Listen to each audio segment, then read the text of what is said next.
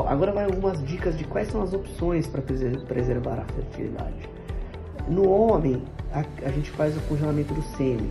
Então existe a criopreservação do sêmen.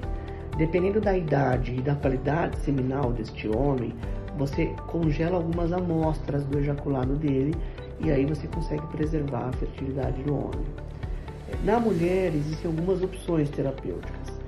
É, depende quanto tempo o, a pessoa que faz reprodução humana esterileuta tem antes de é, sugerir para o oncologista qual tratamento a paciente pode fazer.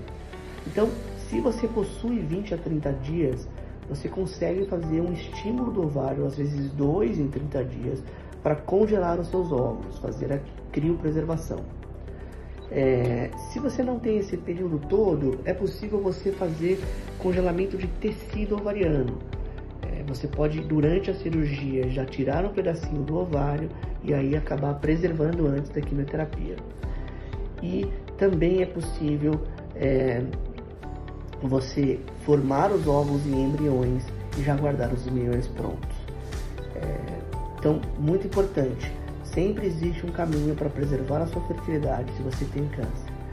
Tente sempre responder uma pergunta simples: Você tem desejo de ser mãe pós o tratamento? Se sim, pergunte ao seu médico se existe alguma chance